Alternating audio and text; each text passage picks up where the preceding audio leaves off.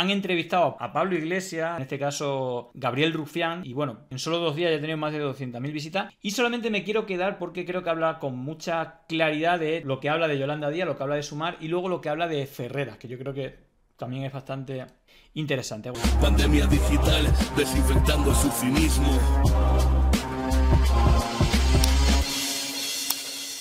atrás! La pregunta, bueno, le hace varias, pero esta es la primera eh, en relación de Podemos sumar y luego ya irá personalizando con Yolanda Díaz. ¿Qué diferencia hay entre Podemos y sumar?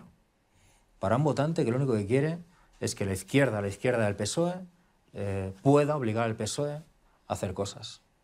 Yo creo que es evidente que Podemos y Sumar tienen que ir juntos a las elecciones. ¿Por qué? Comparten un programa y porque la ley electoral sería... ¿Cuál es el programa de Sumar? ¿Cuál es el programa de Sumar? No lo sé, pero no... Hay como risilla... A ver, es verdad que aquí creo que Gabriel Rufián va con un poco mala leche y parece como que se posiciona, ¿no? Más hacia Podemos o hacia Pablo Iglesias, por lo menos en, términos de la confluencia, ¿no? Eh, pero bueno, mm, más allá de eso, creo que también es interesante la, respuesta de Pablo y sobre todo la determinación, que yo creo que nunca se ha salido, a pesar de que haya podido ser crítico y tal, de que sí o sí hay que ir juntos. No se puede, no hay ninguna otra alternativa que no sea ir juntos, eh, Podemos y, sumar. Creo que tengan un programa muy diferente al, de Podemos, pero da igual, o sea, es como... Los programas son una cosa como... O sea, el problema no es el programa, el problema es hasta dónde estás dispuesto a llegar para hacer que se cumpla el programa.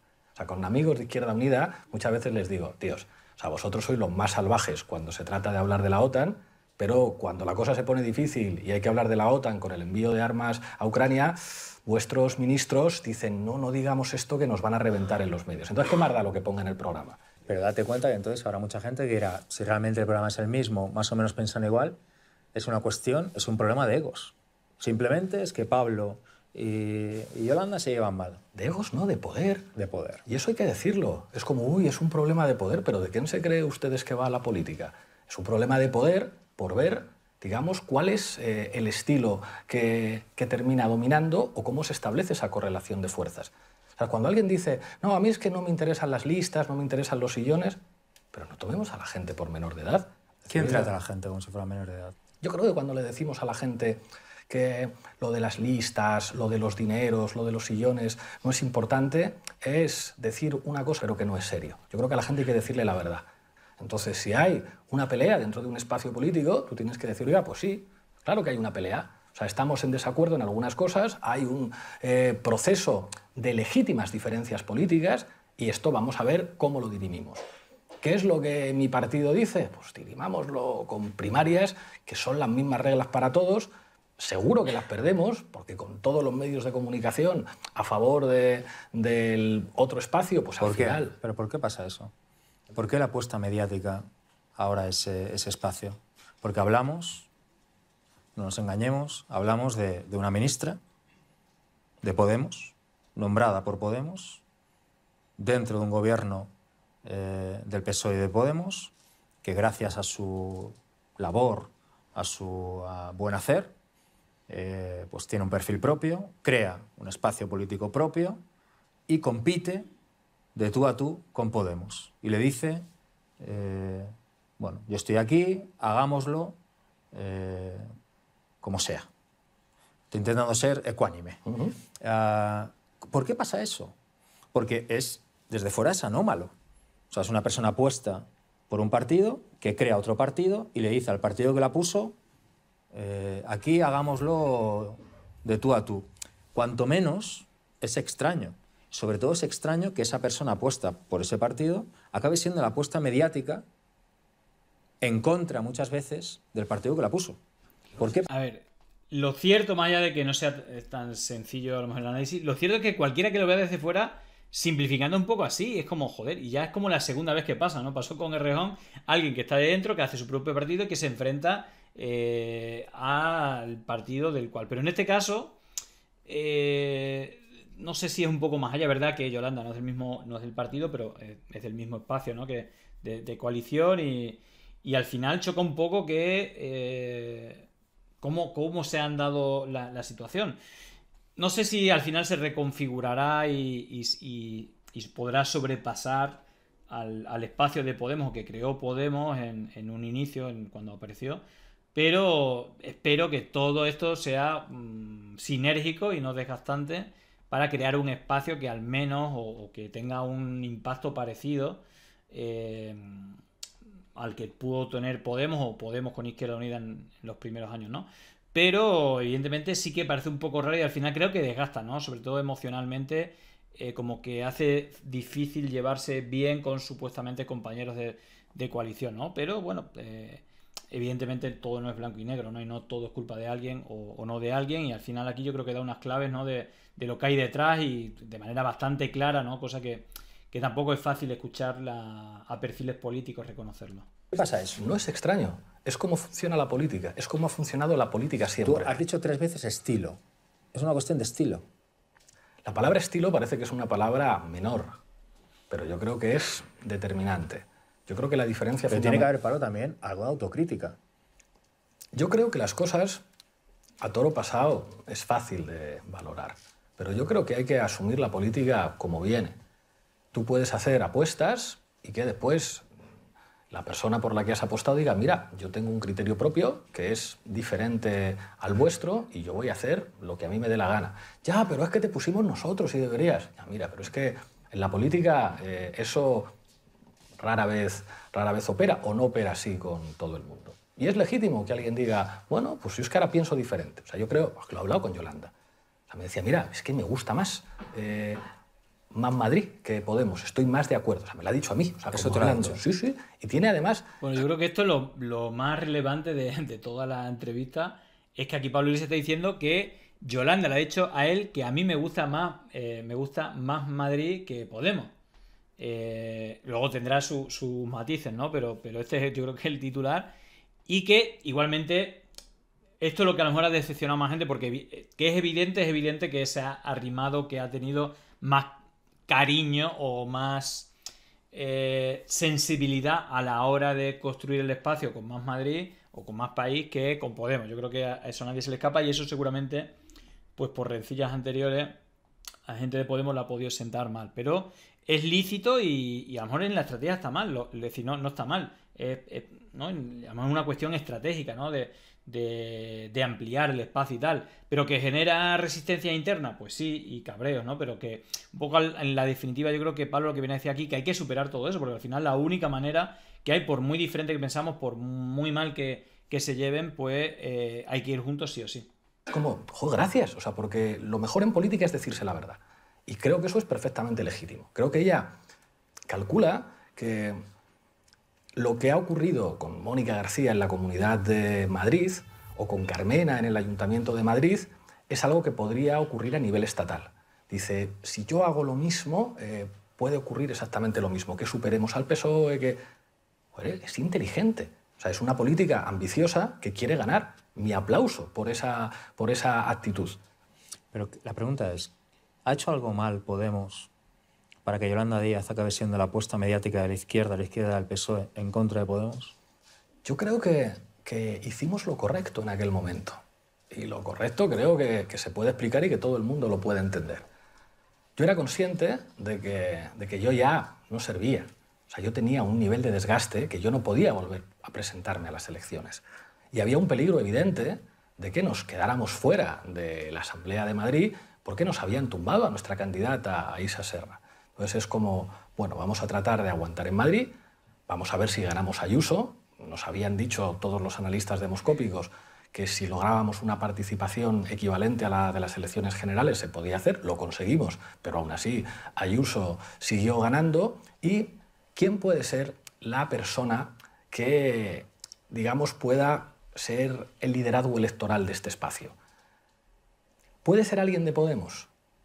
Yo en aquel momento pensé y lo discutí con los compañeros, creo que tenemos que ser generosos y apostar por alguien que pueda, digamos, cuidar el actual espacio político y que además no deje hueco para que otros espacios políticos como Más Madrid o, o como Compromís, digamos, se queden fuera de aquí. Yo creo que ese análisis era bastante correcto. ¿Qué es lo que ocurrió después? Que Yolanda llegó legítimamente a otra conclusión, a la conclusión de quien me sobra aquí es poder. bueno, más allá de la conclusión que luego, bueno, es lo que dice Pablo, pero yo creo que fue un acierto. Es decir, yo personalmente, yo me alegré cuando, bueno, al final uno deja la política y, hace como una propuesta, evidentemente, mm, a sometimiento de la propia Yolanda y de las bases de las formaciones políticas. Pero yo creo que, que me pareció audaz y me pareció lo más inteligente que Yolanda Díaz podía representar, aparte de un gesto de generosidad, de, de dar protagonismo a otros, digamos, elementos de la, de la confluencia, que creo personalmente que por una serie de cuestiones, muchas de ellas vinculadas a la- al talento y a la valía de Yolanda Díaz, pues era, eh, era quizá la mejor candidata para representarla. A día de hoy lo sigo pensando, lo que creo que ha jugado mal la baza de, de la relación con Podemos, la ha jugado fatal, de hecho, hasta extremadamente mal, no, no termino de entender que, por qué, la jugado así, por qué la han asesorado así, pero, pero sí que creo que fue bastante audaz no sé si generoso, pero, pero me pareció, me pareció buen movimiento. ¿Qué pasa? Que quizás mucha gente le ha sorprendido eh, luego el actuar, a lo mejor, bueno, pues no, no le gustó esa...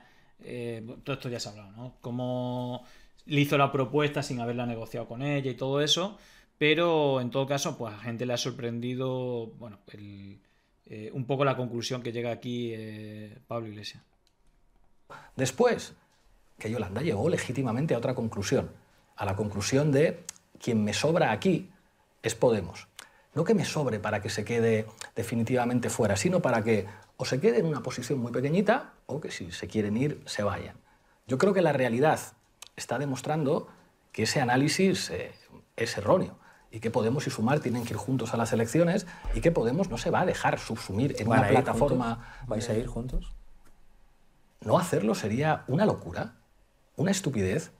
Pero ¿cuáles son las condiciones para ir juntos? Podemos dice, hagamos unas primarias abiertas, que seguro que las perdemos, pero al menos allí eh, vamos a medir lo que representa cada uno internamente. Y luego, Bueno, yo creo que si hay algo que ha repetido Pablo siempre, o, todos los cargos, no solamente Pablo, sino también eh, Irene Montero lo ha repetido en, muchísimas ocasiones, Ione cada vez que ha hecho eh, cualquier declaración pública, y yo creo que también en privado, es que hay que ir juntos sí o sí. Así que eso es más allá de que haya habido enfados diferentes, puntos de vista, eh, bueno, si ataque, ha habido algo que se ha repetido siempre, por lo menos por portavoces o el entorno de Podemos, que es que hay que ir juntos sí o sí. Yo creo que eso deberíamos de, creo que tenerlo claro. Ahora, ¿qué mm, se va a poner fácil, no? Pues habrá que, habrá que ver, ¿no? La condición de eh, que han repetido los portavoces de eh, de Podemos, pues tiene, tiene claramente una, una postura definida y eh, por lo menos lo que públicamente se dice es que haya unas primarias abiertas. Luego, por la otra parte, se dice que sí, pero ahí hay algo oscuro que no se termina de entender por qué no se, no se termina de aceptar e ir juntos. Bueno, no, no lo sé, pero bueno. En fin, eh, por rematar el, el tema. respetad nuestra autonomía como actor político. Cuando yo negocié con Izquierda Unida, ellos no estaban dispuestos a meterse todos en Podemos. Ellos decían, no, no, mis siglas, mis sillones, eh, mi dinero y que mi logo aparezca en las papeletas electorales. Y dices, es normal, están defendiendo su espacio. Claro, el planteamiento de ahora de, no, no, tú te metes aquí en una plataforma con un... Es como, no, es como nosotros somos Podemos y no queremos ser sumar. Queremos ir a las elecciones con sumar, pero no somos sumar. ¿Soy optimista? Sí, porque creo que cada vez hay más gente que entiende que ir separados no tiene sentido. Eh, si se tercia, sin más remedio, Irene Montero sería una buena candidata de Podemos contra Sumar. Eso lo tendrían que, decidir en el partido y yo creo que sería trágico que se pudiese, digamos que se expresara esa, esa competición. Bueno, yo creo que queda bastante claro eh, el asunto. Y hay como. Parece que Pablo, evidentemente, al no tener ningún cargo, pues habla con lo que le da la gana y no mide. Eh, no, le da ganas, creo que dice sinceramente lo que piensa. Y por ejemplo, hay un elemento también que también se, se- yo entiendo que se hagan equilibrio desde portavoces, no solamente Podemos, sino sobre todo creo que desde Yolanda Díaz, que incluso habla como "Buah, los- la politiquería de los partidos. Y yo sé lo que quieren los partidos, es cargos tal, tal.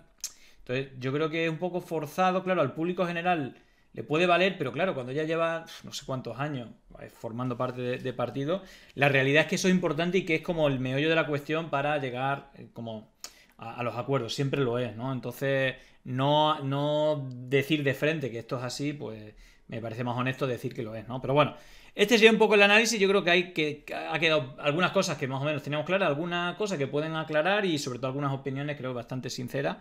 Eh, aunque, bueno, puede ser que haya gente que no le guste. Jordi Evola. El mejor comunicador que ha existido nunca en España. Es un puto crack.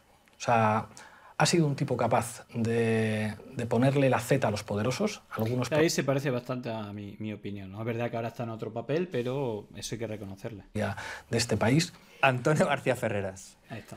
Uno de los políticos más inteligentes en este país y súper trabajador. Dice, uno de los políticos, no dice periodista, uno de los políticos. Eh, yo creo que no, es que se ha equivocado, lo, ha dicho bien. Trabajador. Le conozco bien porque he cenado con él muchas veces y he comido con él muchas veces. Es un tipo que Ojo que eh, reconoce que ha comido y cenado muchas veces con él, porque a veces le ponen una foto, ¿no? Como escondido, ahí esta foto. No, no, que he comido y cenado muchas veces con él. Lleva siempre una libreta en la que va apuntando absolutamente todo. Ferreras. Ferreras, todo, todo, todo. Y eh, ha logrado colocarse en una posición en la que prácticamente todo pasa por él, todo depende de él. Es como, digamos, casi los únicos que nos hemos quedado fuera de, de su espacio de influencia y de poder somos vosotros, Bildu y nosotros. Y ojo, no porque él haya intentado no haya intentado lo contrario. Salvo con Bildu, que nunca le han dejado como en el Grupo Planeta darle oxígeno, él intentó jugar con Esquerra en su momento, intentó entrar en Cataluña y competirle a, TV3. Es eh, un tipo brillante que sabe clarísimamente que su poder depende de sus alianzas con el, con el poder. Y sus alianzas con el poder son Florentino. El primer día que nos vimos, el tipo fue muy honesto. Me dijo, yo soy un hijo de Florentino para que te quede claro. Iglesias. Y yo apunté aquello. La sexta podría haber sido otra cosa, pero cuando cambió la estructura de propiedad, la sexta es una televisión de derechas para que la vea gente de izquierdas, que trabaja además para que gobierne el Partido Popular. Ferreras es el operador de todo eso, porque más allá de sus valores, que yo creo que sus valores son más o menos progres, Ferreras es un tipo del poder, es un tipo que jamás va a renunciar a ese tipo de relaciones que él tiene. Ferreras manda más que cualquier ministro. Ferreras eh, es capaz de establecer las vías y los contactos para hablar con el mundo del IBEX. Cualquier persona que quiera tener influencia en este país necesita congraciarse con Ferreras. O sea, Ferreras es quien te puede abrir las puertas de lugares a los que un político nunca puede llegar. Ferreras ha conseguido pues que, Pedro Sánchez le asuma como referente después de lo que le hizo a Pedro Sánchez. Yo intenté durante mucho tiempo que nos dieran un trato mediático un poco mejor del que nos daban y poco a poco fui comprobando que eso no tenía ningún sentido y cuando escuché la grabación flipé. Porque una cosa es la versión que me dio Ferreras a mí de todo aquello y otra bien diferente es lo que escuché en aquella grabación y es como, tío, te han pillado, esto es corrupción. Te han pillado. Es que imagínate, ¿no? Cuando dice todo lo que, lo que dice, bueno, él o Monedero, es decir, como literalmente eh, cómo le ponen una X y están dispuestos a sacar cualquier noticia falsa para cargártelo, ¿no? Y, bueno, incluso hasta Pedro Sánchez también tiene alguna, pero en el caso de Pablo eh, tiene, tiene varias, sobre todo lo falso, ¿no? Al que haya quedado varias veces y que no sé si, me imagino que sea una manera de habilidad de, ingeniería social, ¿no? De querer llevarte con todo el mundo, aunque lo eh, sea para sacarle información y saber cómo hacerle más daño, ¿no? Pero, pero tiene que ser tremendo, ¿no? Eh, cómo tener las pruebas de cómo te han ido a reventar con noticias falsas y cómo sabías que eran falsas y las daban igualmente. Tú no tendrías piedad con un político al que le pillaran una cosa así. Tú has perdido la legitimidad para ser periodista y en realidad cuanto más salgas, cuanto más estés ahí, mejor para nosotros, porque eres la prueba viviente de que tenemos razón y de que la profesión con más porcentaje de corruptos con poder en España es, por desgracia, el periodismo. Claro, esto puede ser el titular de la entrevista, pero es la verdad. O sea, un periodista que miente es un corrupto. Y Ferreras allí demostró ante toda España que mintió, ha tenido la soberbia de decir así, pues eh, aquí estoy, ha dejado digamos, con el culo al aire a un montón de gente de izquierdas que dice, no, si es que yo hago igual que Iglesias cuando iba al rojo vivo, hay que aprovechar todos los espacios, que es como, esto es difícil de sostener, compañeros, y creo que es maravilloso que, que Ferreras esté. Creo que hubieran sido más inteligentes si hubieran puesto una cara limpia y hubieran dejado a Ferreras operando detrás como Master of Puppets. Creo que el hecho de que siga siendo la cara de la sexta es algo bueno para la democracia porque va a tener muy difícil quitarse esa etiqueta de corrupto. Totalmente de acuerdo. Yo creo que si Ferreras tiene cero credibilidad, más allá de gente que no entiendo cómo pueda defenderlo, que sea por interés, pero evidentemente eh, creo que es un cerapio ya, vamos, creo que por lo menos para la izquierda no tiene ningún sentido, ningún tipo de credibilidad Ferrera, para nadie, pero para ninguno, todo el mundo sabe cómo opera y si eres cómplice, pues sabrás por qué. Pero bueno, Ahí, ahí estaban las dos cosas que creo más interesantes. Igualmente la podéis ver, es bastante más larga, evidentemente. Eso me he quedado con lo de Yolanda y con, con lo de Ferrera, porque creo que era la parte que a lo mejor podía interesar más. Pero bueno, si queréis la podéis ver, lleva ya eh, un par de días publicada completa. Llegó el momento de no estar callado, de desmontar inventos que vienen envenenados. Es contrainfo, que no es lo mismo. Pandemia digital, desinfectando su finismo. Gracias por la suscripción, muchísimas gracias.